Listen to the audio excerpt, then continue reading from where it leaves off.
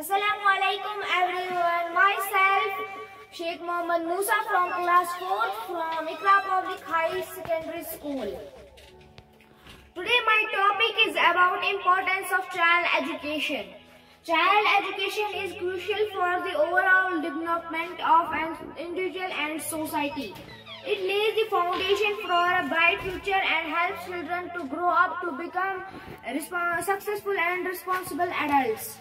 Education provides children with the necessary knowledge, skills and abilities to lead the productive and fulfilling lives. It is also a means to break the cycle of poverty and improve social and economic uh, conditions.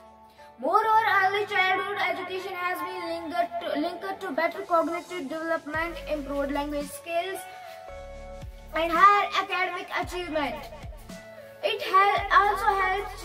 Children to develop critical thinking, problem solving and social skills which are essential for success in today's world. Education provides the children Education also helps the children to understand the, uh, the importance of diversity, tolerance and respect others are essential for success in today's world.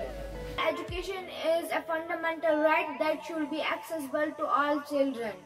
It is critical for the individual and societal development. Thank you. Have a nice day.